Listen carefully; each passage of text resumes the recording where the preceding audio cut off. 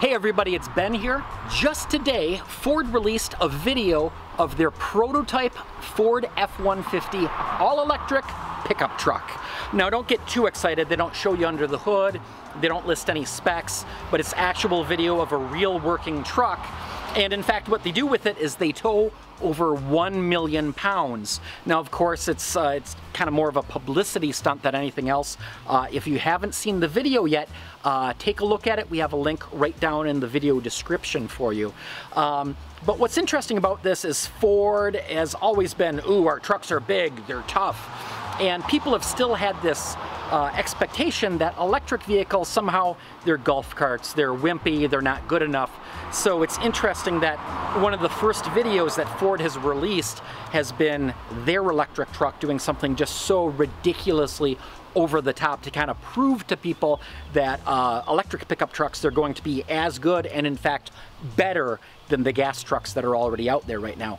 But what's really interesting about this is Ford was building electric pickup trucks 20 years ago. That's right, factory built pickup trucks two decades ago. That's one right behind me right now. Uh, that's my 98 Ford Ranger EV. That is a stock factory built all electric truck, no gas, no engine, nothing like that. Uh, in fact, uh, I got that a little while back. I made a few videos about it. Take a look in the video description for links to the playlist of all the videos I have about the truck, as well as the lithium batteries that are going in the truck.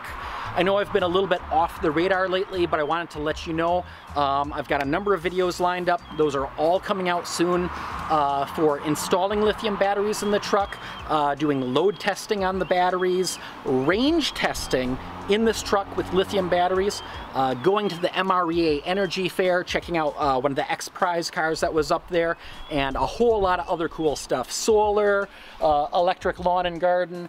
Um, you might even get to see me throw a tomahawk. But make sure you subscribe, make sure you hit the notification so that whenever my next videos come out, you make sure to get it right away. And until next time, stay charged up.